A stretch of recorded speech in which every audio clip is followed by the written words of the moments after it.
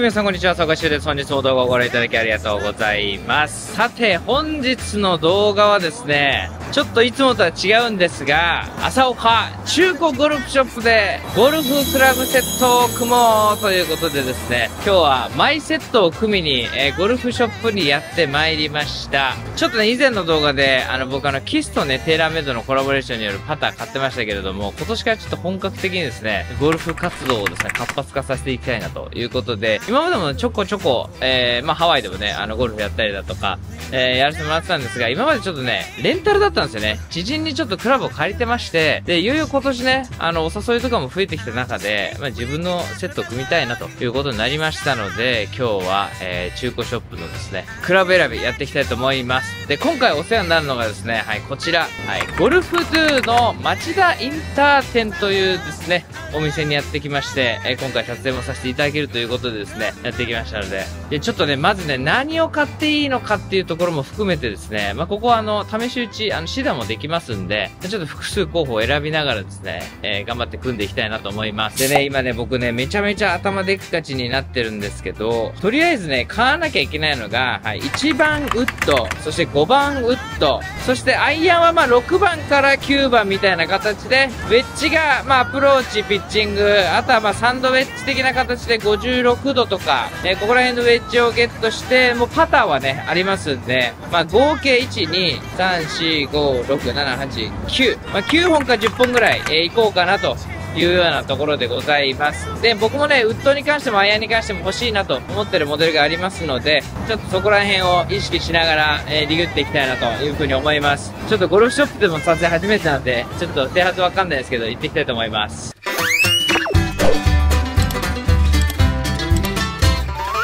はい、こちらが今回お世話になるですね、ゴルフドゥ町田インター店ですね。早速入っていきたいと思います。さあ、入ってまいりました。店内もね、めちゃめちゃ広くて、もう品揃えもすごいのよね。はい、ここは基本的に中古ですね。はい。新品も置いてはいるんですけど、中古中心に見ていこうかなってとこなんですが、まずは一番ウッドかなちょっと僕はね、ドライバーはテーラーメイドがいいかなと思ってるんですけど、今回気になるクラブはここにポンポン刺してまとめて仕出したいと思います。テーラーメイドのとこはどこだろうな。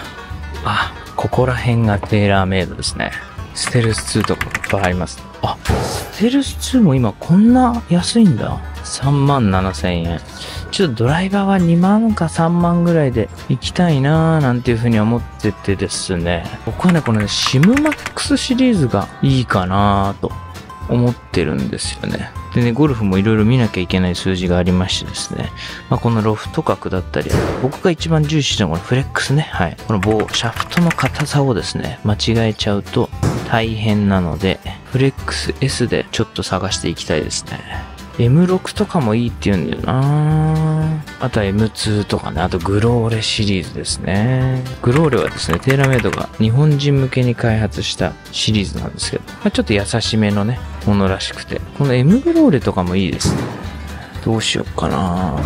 このね、ステルスシリーズもいいんですけど、僕は割とスライサーつって右にシャーンって曲がってっちゃう感じなので、そういう人はね、あんまりステルス合わないってね、見たんで、どうしようかなって感じですね。で、こちらが SIM2MAX ですね。そう。さっきの次に出てるやつですね。ここら辺でも、値段が結構一気にね、3万2000ぐらいだね。SIMMAX だと1万9000とかぐらいなんで。いや、どうしようかな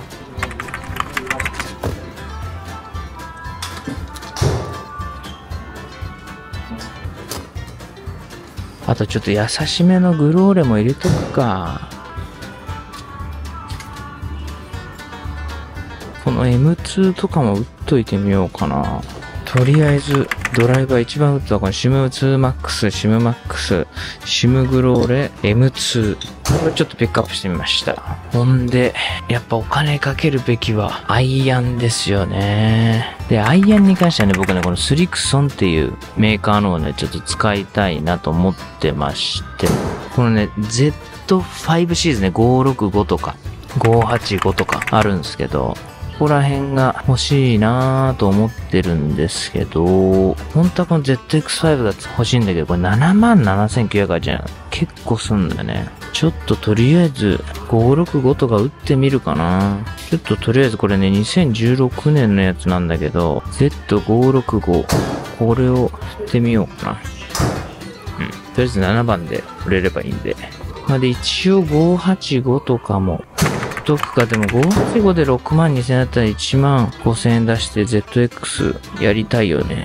ほんでじゃあお次はですね、5番ウッドと、あとはユーティリティもどうしようかなってとこなんですよね。ちょっとユーティリティとかね、こういうお得ゾーンから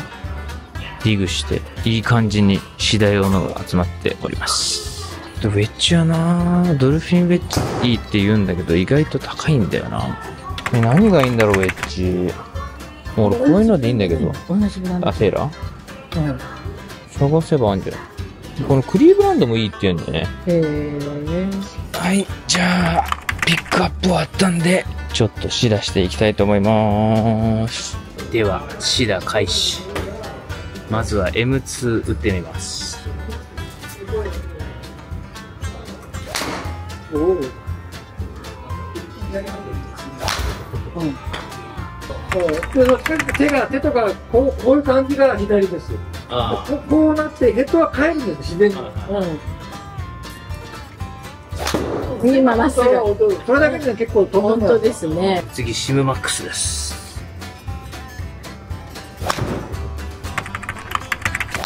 うん。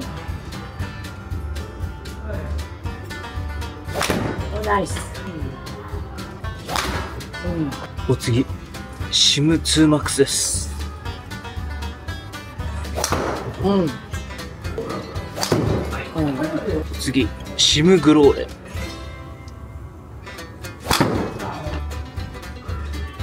そうです。それに5番うん、いいね。音が当たっててこれが良さそうな気がするね。おおお次、フェアウェイウッド。M4 の5番ウッドですね。うん、あ、うまい。うまい。あ、めっちゃいい。いいでしょ？そう、もうそれ、それそれ、これだよ。M4 めちゃめちゃいい。お次、SLDR。これ、格安5000円です。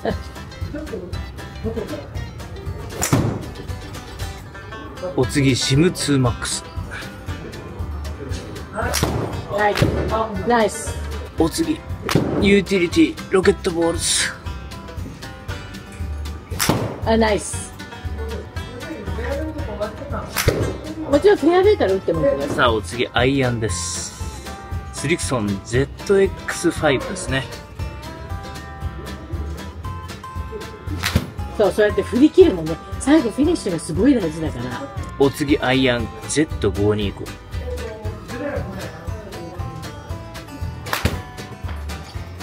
あ、これまっすぐこれでいいかうん。さて、最後はウェッジ。これドルフィンウェッジの56度ですね。そうそうそうそう。叩きつける。そうそうそう、それで出る。ということで、シダを終えて、決まりました。フルセットはご自宅でご紹介したいと思います。楽しい。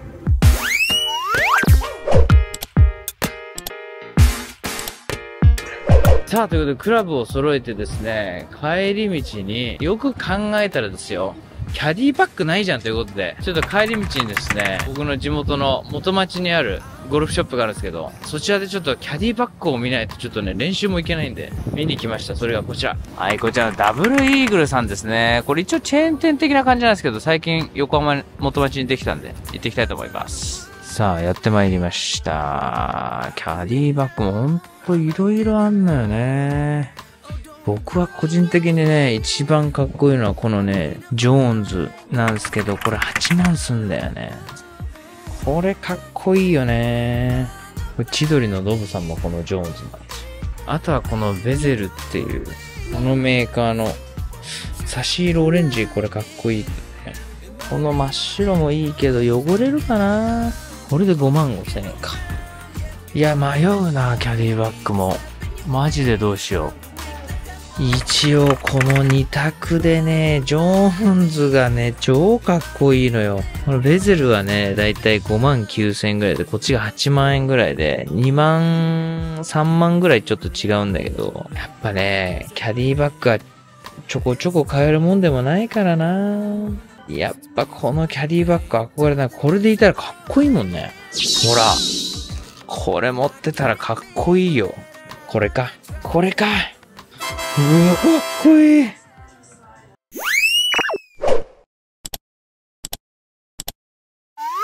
さあ、ということでですね、お家に帰ってまいりまして、めちゃめちゃ楽しいですね。マイセット購入終了ということでですね、ここからえ僕が今回組んでみたセット、ご紹介していきたいと思います。で、全部で本当は14本まで入れれるんすけど、僕が今回買ったのは9本でございますね。で、ここにパターを加えて10本って感じで、まあ最低限ここぐらいまであればいいかなっていうセットを作ってみました。まあここからね、ちょっとウェッジ増やしたりとかいろいろ出てくると思いますけども、とりあえずですね、揃えてみた結果、えこんな感じになりましたということでご紹介したいと思います。で、これね、最後にあの合計金額とかもね、えー、お教えしたいと思いますので、果たしてどれぐらいの金額でどれのクオリティのですね、えー、クラブが組めたのか、えー、参考にしていただければと思います。では、まずは、ドライバーですね。1番ウッドからご紹介したいんですが、ドライバーはこちらはい、ヘッドカバーもですね、ついてたんですけど、シャキーンこちら、シムマッ Max ですね。SIM2Max ではなく、SIMMAX の方をチョイスいたしました。というのも、まあ、シャフトがこっちの方がいいかなっていうところもあってですね。あと、打感的にもすごく僕は、えー、気持ちよく打てたので、SIMMAX にしました。で、ロフト角に関しては9度を選びました。まあ、僕は30歳ということもあって、まあ、男性ということもあって、まあ、ヘッドスピードこれから上がっていくということを考えた時にですね、10.5とか、まあ、9度で、まあ、しっかりですね、えー、飛ぶように練習していくって方がいいんじゃないかということで、今今回は9度を選びました。で、シャフトがですね、ディアマナのですね、TB60S というやつでございますね。フレックスに関しては、え硬さ S でございますね。はい。そんなシムマックス。これね、お値段的多分2万付近だったかな。今回ね、値引きしてくれたんで、正確なプライスがわかんないんですけど、まあ、2万円から2万5千円ぐらいの感じで、えー、買えた、えー、ドライバーでございますね。一番ウッドはこのシムマックスでございますね。さあ、そしてお次、フェアウェイウッドでございますね。ウッド系はちょっとテーラーで統一しようかなということで、えー、今回はですね、5番ウッド、3番ウッド結構難しいっていうんで、5番ウッドを購入しました。それがこちらです。こちらもヘッドカバー付きですが、はい。テラメイドの M4 でございますね。M4 の5番ウッドをゲットいたしました。これもね、打った時もね、めちゃめちゃ打ちやすかったですし、違和感なくパンパンパンパン打ててたんで、まあ、シンマックス、シム2マックスか、とかも打ったんですけど、なんかね、値段と打ちやすさが一番良かったのがこの M4 でしたね。この M シリーズはですね、偶数が結構優しいなんていう風に言われてたりするわけなんですけれども、まあ、打感的にも非常に心地よかったので、こちらの5番ウッドにしました。で、一応ですね、シャフトの方が、え、吹雪 TM5 フレックス S という感じになっておりますね。うん、これはすっごい打ちやすかったんで、値段もお手頃でしたし、これ多分1万ぐらいだったかな。で、購入することができました。5番ウッドはテーラーメイド M4 でございます。さて、お次はユーティリティということでですね、こちらもね、非常にお手頃かつ、すごく振りやすい UTT がありましたので、え購入しました。それもね、またテーラーメイドなんですけど、こちら、はい、ロケットボールズのステージ2ですね。RBZ の、一応これはですね、5番のユーティリティでございますね。まあ、打感も非常に良くて、めちゃくちゃ打ちやすかったですね。ロケットボールズ自体はそんなに新しくなくて、多分2013とかなのかななんですけど、あの、大西ライオンさんがこのね、RBZ めちゃくちゃおすすめしてたんで、まあ、これいいんじゃないかなということでですね、買ってみました。うん。しっかりちょっと重さもあってね、めちゃくちゃちょうどいい感じでした。で、シャフトがですね、これロケットボールズのやつなのかな？はい。RBZ-TM5113 っていう風に書かれてますね。そんなシャフトの、このね、白い感じもかっこいいね、上から見た感じも。5番のユーティリティが、え、ロケットボールでございます。これ確かね、7000円とか6000円とかめっちゃ安かったですね。さて、お次は要となるアイアンでございますね。アイアンはですね、テーラメイドではなく、ダンロップのスリクソンというですね、ブランドを僕はちょっと欲しくてですね、探してたんですけれども、今回ゲットしたのがこちらはい、Z525 というですね、アイアンでございます。これ結構古いんですよ。2012年とかなんですけど、一応これね、ZX5 っていう2020年に発売された割と新しいアイアンと打ち比べてみたんですですけど、値段がね、倍ぐらい違うのに、そこまでね、初心者の僕はあまり変わった感じがしなくてですね、めちゃくちゃ良かったですね、この525の打ち心地が。で、初心者とかにもね、優しい形になってるということなので、まあこれでちょっとしばらく練習はしようかなってところですね。まあ違いがわかるようになったらもっといいね、あのスリクソンの最新の ZX5 Mark II とか、あそこら辺も欲しいなとは思うんですけど、まあまずはね、100とか当たり前に切れるようになってから、えー用具は最新のものにしていきたいなというふうに思って、まあ、その中でも打った感じ全然無理なく、ほんと同じ感じで打ってたんで、まあこれでいいじゃんってことで、この Z525 にいたしました。これね、6番から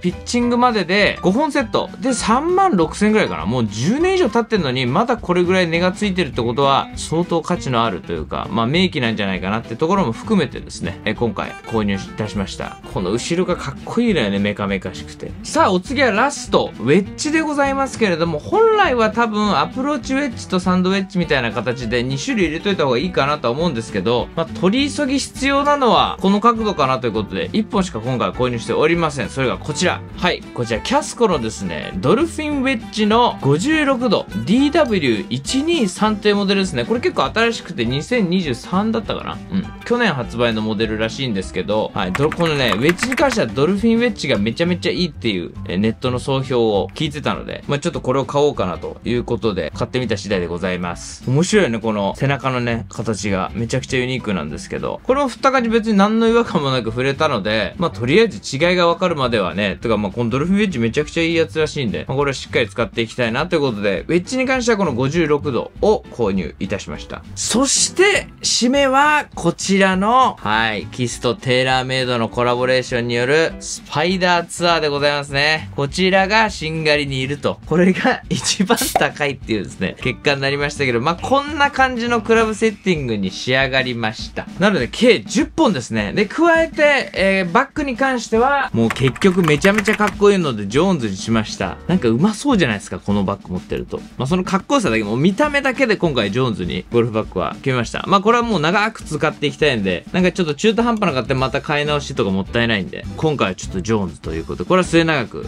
味を出しながら使っていきたいですね。という感じの結果になりましてですね、今回なんと総額8万9000円でございました。どうだろう？安いんじゃないかな？僕ちょっと10万円以内っていうことをですね、予算で掲げていたんですけれども、まあちょっとドライバーとか、ここら辺は割と新しいものをチョイスしたんで、そこにお金使いつつ、アイアンがね、本当はもっとかかるかなと思ったんですけど、思った以上にこのね、Z525 が良かったんで、まあそういった意味でも9万円を切る形ですね。8万9000円。うん。まあ大体ドライバーが2万円、フェアウェイウッド5番も1万円で、ロケットボールズが多分7、8000円かな。で、ここでアイアンセットが3万5000円のウェッジが1万円ぐらいだったんで、まあちょっとお値引きだいぶしてくれたんですけれども、それで8万9000円という感じの、えー結果になった次第でございます。個人的にはめちゃめちゃ満足ですし、こうやってね、試出してみると、なんかいろいろやっぱり個性も違いますし、違いが分かってめちゃくちゃ面白かったなというところでございますので、いや、今回本当にね、この、ゴルフドゥ町田インター店さんのご協力でですね、この動画撮ることができました。本当にありがとうございました。まあちょっとこれでね、またしばらくレッスンとか通いつつですね、今年はゴルフ動画、まあラウンド動画とかも撮れるところでね、えしたいななんていうふうに思っておりますし、今年中にちょっと100切りとかをアベレージにできるように、えー頑張りたいなと思います。ゴルフ自体は僕もめちゃめちゃ好きなので、ちょっとゴルフコンテンツもね、増やしつつ、まあウェアとかもね、自分で作りたいななんていうふうに思っておりますので、えー今年はそんな幅もね、広がっていくと思いますので、楽しみにしててください。どうでしょう？もう僕のこのクラブセッティング、多分ね、まだまだもう未完成もいいとこって感じだと思うんですけれども、僕なりにちょっとね、オンラインとかで、えー調べながらですね、組んでみたセットなので、これ入れた方がいいよとか、あれば、えーぜひ教えていただきたいなと思うんですが、まあ個人的にはもうこの中古でしっかり練習して、まあ道具の言い訳なしにですね、やっぱ100切り、90切りみたいなところをですね、目指せるような練習量だったり、えーそういったことが必要なんじゃないかなと思います。僕あんまりサックスとかも道具がっていうよりかは、本当に練練習しまくって身につけてきた人なので、まあ、まずは道具で言い訳せず、えこれでひたむきに練習しながらですね、しっかり、え100切り、90切り目指して、え頑張っていきたいなと思いますので、今回面白かったと思ってくださった方は、ぜひごグッドボタン、先生チャンネル登録の方もよろしくお願いします。今日のコメントではぜひゴルフトークもね、あの、これ結果やってみようかなっていう人も全然いいと思いますし、ゴルフめちゃめちゃ楽しいので、おじさんスポーツじゃないですよ。もうね、若者からガンガンやっていいスポーツだと思いますので、興味が出た人は、ぜひ、ちょっとね、ゴルフ YouTube とか見始めるからでもいいと思うので、やってみてください。それでは最後宣伝でございますけど、僕のブランドサンプルズとラッセルアセティクトのコラボレーションによるですね、スウェットショーツ、今日のね、撮影でも履いておりましたけれども、こちらがですね、絶賛オンライン販売中でございます。もうちょっとね、びっくりすることにですね、こちらの、えー、キャラメルカラー、これなんだ、開始5分で売り切れというですね、もうほんとびっくりしてるんですけれども、ご好評いただいております。えー、現在ですね、ファウンテンとカレッジブルーというですね、この青系の2色はですね、割といつも人気なので数積んでたということもありますので、まだね、余裕ありますので、これなくなり次第ほんと終了でございます。おそらく今夜が山場なんじゃないかなというふうに思いますので、気づいた方はぜひお早めにですね、えー、チェックしつつ、えー、ご購入いただければと思いますので、概要欄にね、えー、詳しいのを載せておきますので、チェックのほどよろしくお願いします。で、えー、今週金曜日からですね、こちらのアロハシャツのですね、抽選なんかも参加しますので、このね、サンプルズのリリース情報はですね、まとめて、えー、概要欄に記載してますんで、チェックしてみてください。それでは、また時間でございます。See you next movie. じゃあねー